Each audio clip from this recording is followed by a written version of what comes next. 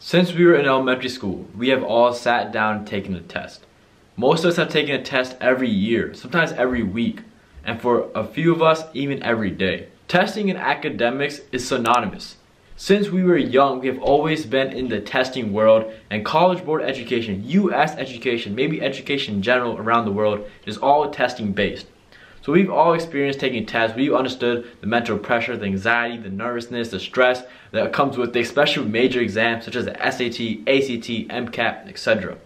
But there are five psychological testing traps that we fall under that if we avoid, we can do so much better on any exam. And please stay till the end because you will see that I will have two Discord invites randomly pop up on the screen without telling you guys, without any notifications. And the first two people to use those invites will get a free membership to my Discord. So let's get into this video. The first major psychological trap that I'll be talking about is the confirmation bias when it comes to testing. So the confirmation bias is basically when you look for findings or you look for details that support your answer and you ignore anything that discourages your answer from being correct. And this is a major psychological trap that not only test takers fall under, but scientists fall under as well, which is why a lot of studies are criticized, some studies are invalidated, because they see that the findings are only using pieces of data that support their hypothesis, versus incorporating all the findings that they have found that maybe even disprove the hypothesis.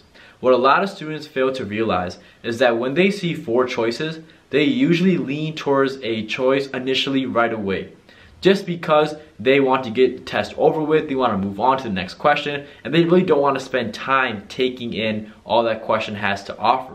Guys, I stress to eliminate three or four choices before picking your final answer. Most tests will have like four choices, so eliminate three. By finding the reasons that three of the four questions are wrong, you are eliminating the confirmation bias because you are not finding information that only suits your answer. The second major psychological trap that we all fall under is answer patterns. Guys, how many times have you looked at your Scantron and been like, whoa, I picked five A's in a row. This is the sixth answer. There's no way that this is also A.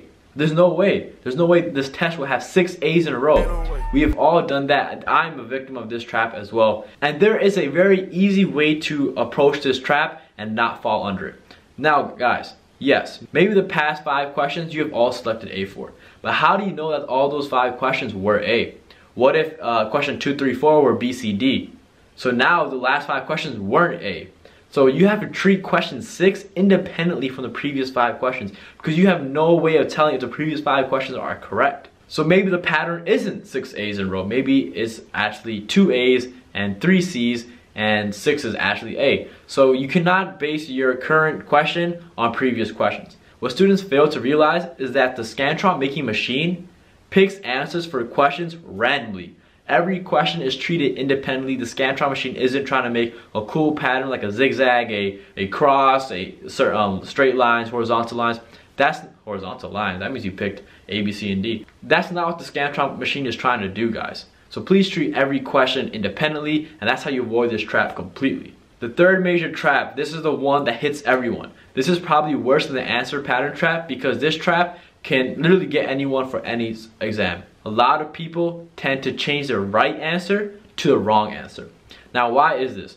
Well, when we first see a question, we use all the knowledge that we possibly know for that question and use it on that question. So all the processes, all the formulas, all the tricks and tips, we use all that information when presented with a new problem that we've never seen before. And we select whatever answer we get. Now, when we come back to the question later on and we review the question, we aren't using the same processes, the same level of performance as before because this problem is no longer new. This problem is an old problem right? Your brain and yourself have seen this problem already. So now you're not redoing the problem. You're probably like, this is right, this is right, this is right. Oh, this part of the problem is wrong. Wait, is it wrong? Ah, so many doubts. And that's when you start getting doubts in your brain and you start thinking, okay, maybe my answer choice is not correct. And then you end up selecting the wrong one, you get your test back and you find out that A was correct and you get selected A initially, but upon review you change it to D and now you're hating yourself. And that's what we don't want because self-love. So how do you avoid this trap?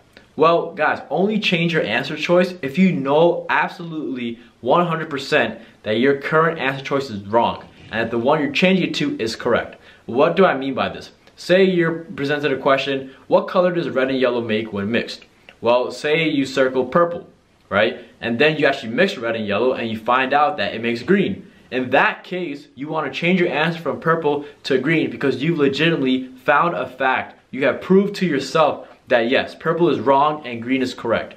No! So you absolutely know 100% that green is correct. So yes, then in that case, you can change your answer. Otherwise, always stick to your gut. I know teachers say this all the time, stick to your gut, stick to your gut feeling. In life, stick to your gut feeling. Guys, do that even for tests. And the next trap is time crunch. Guys, time crunch hits all of us, right? But for some of us, it hits us really hard. Certain tests, you will see that you have 40 questions left and you only have 30 minutes to do it. And then you enter a panic mode and then you start rushing so you don't run out of time. Guys, what people don't understand is that tests are made with every question not having the same difficulty. So yes, while you may have 30 minutes left for 40 questions, what if your next 12 out of 15 questions all take you only 10 seconds? With that speed, you've already caught up your time and now you're on pace to finishing the test with a minute per question versus like 45 seconds per question. So don't base your entire time limit off of the question you are currently on and how many questions you have left. Because certain questions take a much faster amount of time, while certain questions take a longer time. So time is like relative, it's not 100% accurate when taking a test. Only when you're at like the five minute mark do you have a true understanding of whether you're under a time crunch or you're not. Because what you don't want to do is you want to rush and then find out that you have 10 minutes left to do one problem. And then you're like, oh, I have plenty of time. But all those problems you rushed over, you probably got them wrong. So that's what you don't want. And the last trap. This trap hits us before we even take the exam. That is a mental pressure that we put on ourselves. No one else puts it on us. Okay, maybe sometimes your parents do. But you put it on yourself or some, you know, close relatives put it on you and that mental pressure adds up when the nervousness hits in, when the stress hits in, when the anxiety kicks in, and then all of a sudden your brain is feeling like it's about to explode before you sit down take the exam. Guys, scientific findings have proven when you're nervous for an exam and you're taking the exam with like a nervous behavior and you're nervous and, and you have a lot of distress versus eustress, you will not perform well on the test. You are not at your optimal arousal slash optimal performance level. When you are at that level, that's when you do the best. And when you're nervous, anxious, and stressed, you are not at that level. So don't hype up these exams within your brain before taking them. While your parents may be like, hey, hey, Johnny, yeah, the SAT is gonna decide your life. Guys, that's not true. No one test, no one exam can decide, no exam period can decide what's gonna happen with you in life.